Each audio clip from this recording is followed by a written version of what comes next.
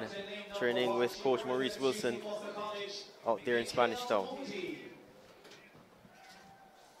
Yep, she'll go in one. In two, you should see Shanique Malcolm of MVP. Yes, she's a sub 12 runner, hoping to certainly improve on her 1197 performance this year. Lane three is empty, so no Shamira Williams in this one of elite performance. This is Shericka Jackson. Yeah, Shericka Jam- Jackson, the one of the fastest women so far this year. She's been outstanding at the 100, 200, and 400. This is Kemba Nelson. Spoke with Kemba yesterday afternoon. She says her 1097 is just the beginning, looking to go even faster at these national championships. This now is uh, Kashieka Cameron of MVP. Yeah, formerly of Edwin Allen. She's knocking at that door. Hopefully, she can put it, put it together at these championships. This is Joanne Reed of the University of Arkansas. Formerly of St. Jago, tallest in this field, and now representing Arkansas. This is Wuri Njado.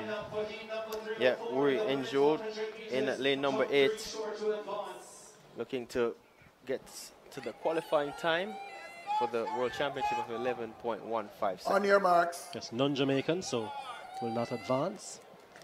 But no Shamira Williams in three.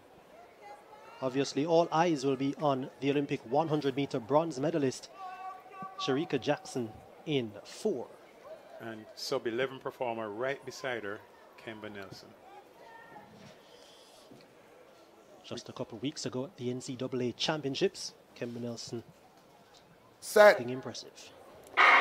And a clean start. It's a good start for Nelson. Shericka Jackson has already responded. Shericka Jackson is already cruising. Nelson trying to go with her, but there's lots of speed from Shericka Jackson, and she eases down to 1098. Let us see what that comes back at.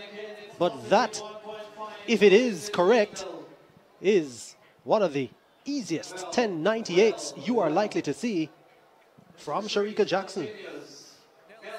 Well, it, it looks like, wow, two sub 11s in this race, Jordan Ford. Very special running.